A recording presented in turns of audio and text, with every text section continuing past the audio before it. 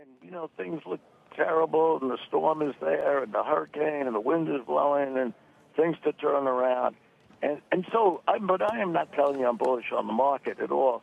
I, I think that we do have a lot of problems with this market. I mean, it, it, you you you really have a situation where the market's buoyed for reasons that don't relate to value, meaning you, you get low interest rates.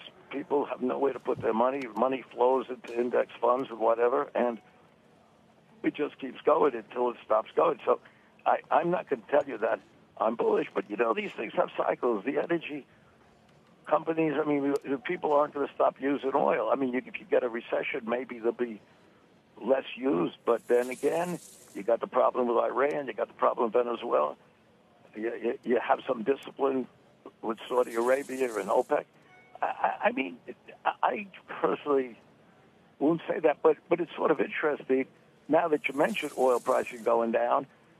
How does this board and and uh, and Vicky have the have the temerity to risk the company, literally risk the dividends for certain, and even a, a bet like this when they don't have a balance sheet to back it up. I mean, a Chevron could do it, an Exxon could do it, but she, it's really blatantly uh, uh, ridiculous to be doing the deal that she did here, and to say that there shouldn't be accountability is is, is really an absurdity.